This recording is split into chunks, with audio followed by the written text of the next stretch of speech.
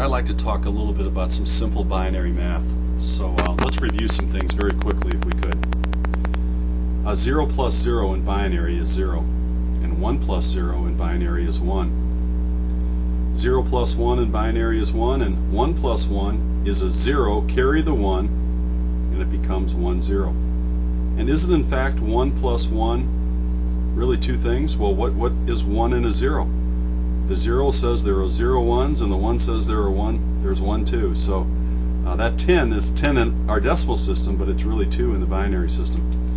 Okay. Let's take a look at this.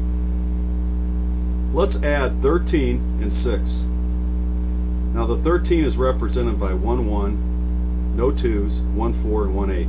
8, 4 is 12, and 1 is 13. And the 6 is represented by no 1s, 1, 2, and 1, 4, 4 and a 2 and a 6.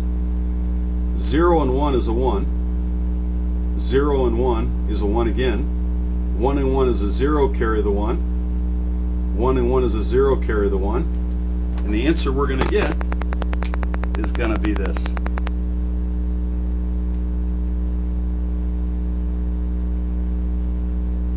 Here we go.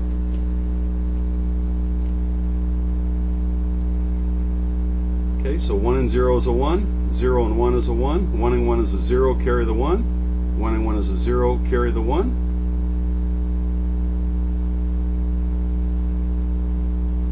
And the answer there is 1, 1, 1, 2, no 4s, no 8s, 1, 16. A 16, a 2 and a 1 would be a 19, and 13 and 6 is in fact 19. Let's look at the next one.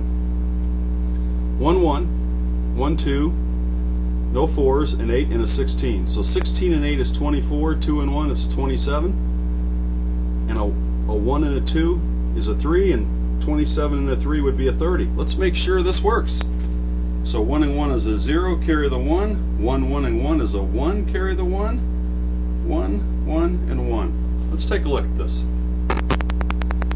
1 and 1 is a 0, carry the 1. A 1 and a 1 and a 1 is in fact a 1 we'll carry that one.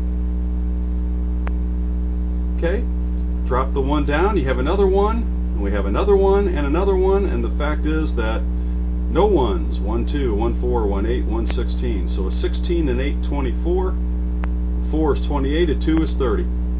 27 and a 3 is 30. That's a quick review on some, some binary math.